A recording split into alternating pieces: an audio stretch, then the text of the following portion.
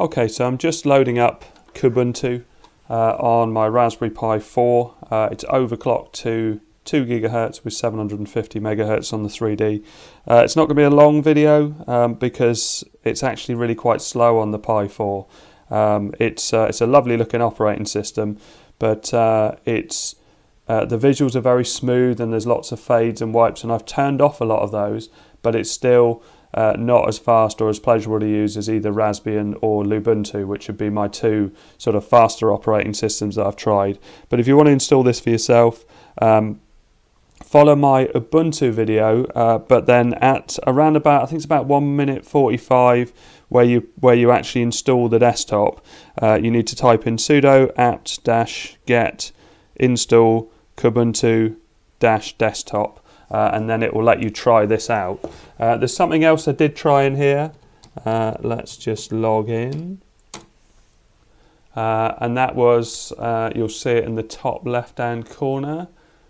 You see, even little bits like this are definitely slower, um, but I can see on a more powerful operating system, this would be a, a, a really, uh, or more powerful hardware rather, this would be a much nicer operating system to look at. But um, and it and it and it looks very well constructed. You know, everything seems to be in a very logical place. But as you can see, it's still doing stuff. I'm doing this all kind of in real time. I started the recording slightly after I switched my Pi on. Uh, and so top left, you can see Steam, not Steam Link, but Steam. Uh, I did manage to get it installed. So if I click on it, you can see it's starting up down the bottom here and it says it needs to install additional packages. And it goes ahead but then it gets to a certain point and can't do any more. And I, my Linux skills are certainly is beyond me as to, to what I need to do at this stage. Um, so hit return and it just quits out so let's just basically show you what it looks like. Uh, you've got it telling me I'm missing some libraries that's to do with the Steam. So if I click at the top here top right uh, you can see various different things come up paste clipboard, contents, refresh desktop, show desktop, add widgets, activities. Looks really nice. I really like this background as well. Uh, if I click bottom left, uh, you can see I've got application launcher and, and again it's all very slow and, and again this is overclocked uh, and I'm running it on a reasonably fast memory stick. Um, so you can see Firefox web browser, uh, Discover is where you install new software, uh, text editor, file management, which looks quite nice actually. Again, quite well handled. I like all these fonts and things on the side. I like the layout. It, it does look really nice. Uh, I guess this changes the size of things, does it? Yeah. Yeah, little things like that. Little it's, it's a really nice operating system. So I can see on on more powerful hardware, I can see why you would definitely want to use this. And there may be ways of, of tweaking it to make it more usable, but I think the Pi deserves a very light operating system uh, just because it's a, a lower powered device. Uh, let's go into system settings. Uh, I did go into lots of display settings and play around with trying to speed it up and things like that. Yeah, it, I, for, to me, this looks like a really nice operating system uh, and and definitely seems to be really quite full featured. Strange how they do the applications. Um, see, I can't move up and down here. Uh, I can even if I hover. I would like it to open up here and, and show me what was under each bit. Instead, you have to click on it. Uh, and then I don't know how you go back from that, but you can see board game, uh, board games, card games, so on. Oh, Steam's come up in games, look, so it automatically did that wonder if I press backspace if it goes back. No. So back. Oh, oh, oh no. Application. Yeah, I don't know how you go back. I'm tapping on applications now. I don't know how you go back to that. If I do favorites and then applications, yeah, it.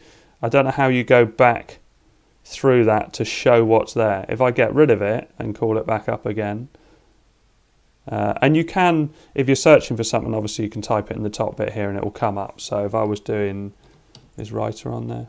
Writable. Uh, if I put in office, does anything come up? No. But uh, internet, what does that come up with? Oh, crikey, loads of things. Steam comes up under that as well. Uh, why does Steam come up on that? Okay. Uh, so let's click on that again. Applications, again, you might be screaming at the screen. If you use this operating system, you might know a different way of showing everything. Um, but I just want to, I like to show what's included so you know if you're looking for a particular app, you can see it. So which version of Office comes. Uh, yeah, all different stuff, isn't it? Kmail, K. I can't see a like a Word type application there but obviously it's Ubuntu, so you can install all sorts of things on it. Settings, system,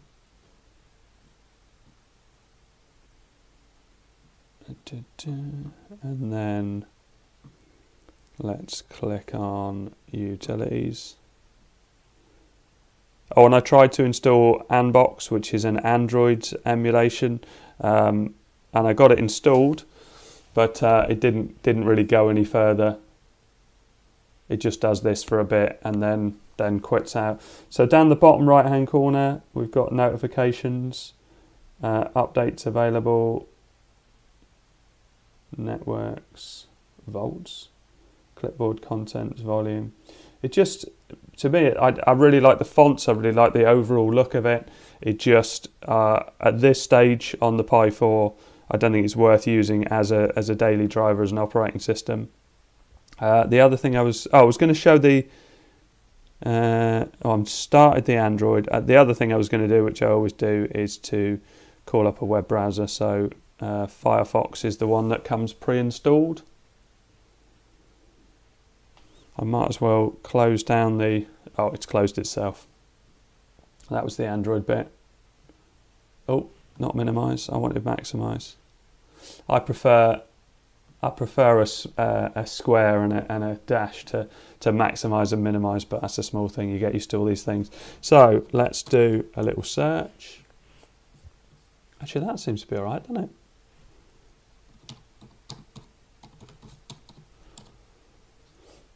Oh, spelled it wrong. And got to try YouTube. So let's go back to BBC. I'm actually using a um, Logitech portable keyboard and trackpad, uh, which works with my iPad, uh, which I've done in a previous video, uh, and it works really well. Actually, um, it's not as quick, it's not as nice as, as my Mac's trackpad, but it's a reasonable trackpad. It moves around reasonably well, and you can put two fingers on to move up and down. It's just for me, it's a bit more convenient than having the the single mouse and keyboard. It's, easier to pack away because this is in my TV. So when I'm not using it, it's nice to just be able to put it out the way. Uh, so let's go to YouTube and let's start playing a video. I think, to be honest, th this feels all right. I think it's I think it's the overall, it's the OS and the transitions and the extra detail that they've put in that makes it slower on this device. Uh, right, so let's just click on anything and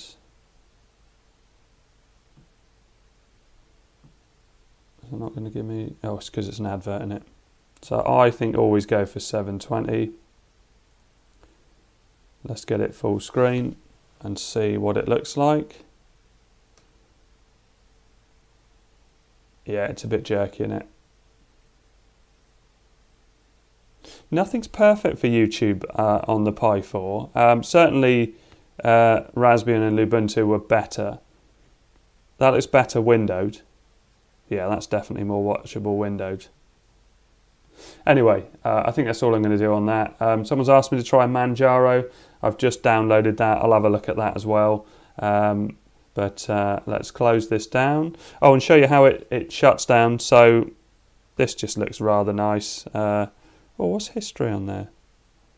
Oh, yeah, that's that's quite nice because it's showing you your recent uh, applications, things like that. So we go to leave, and then you can see you've got sh uh, shutdown, restart, sleep, and so on. So I tap on shutdown, and then it gives me like a 30 second.